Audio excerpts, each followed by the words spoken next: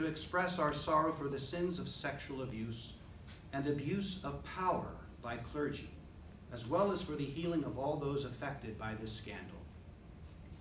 I look forward to working with survivors of all kinds of abuse, whether by clergy or others, to learn how the church might best respond to their needs as members of our spiritual family.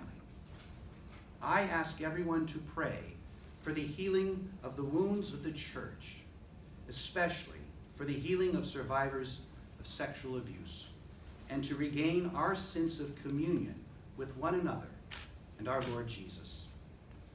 Thank you for your attention, and I can now take questions. Uh, yet, and if you haven't, what would you say to him?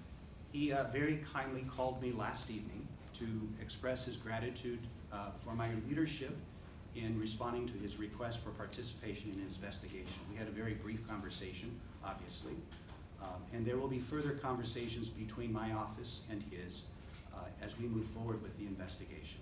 And then I do have a follow-up question too on Father Pender, who was named in the uh, Pennsylvania Yes. report.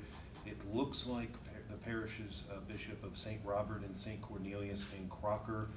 Um, Is there any indication that he may have done anything there, or you just, you're asking for information for people? We are just simply wanting to reach out out of an abundance of caution. We have no indication that there has been the sexual abuse of minors in our diocese by Father Pender, but just to be sure, uh, we are about, and as a church, it is part of our mission to help those who are in need.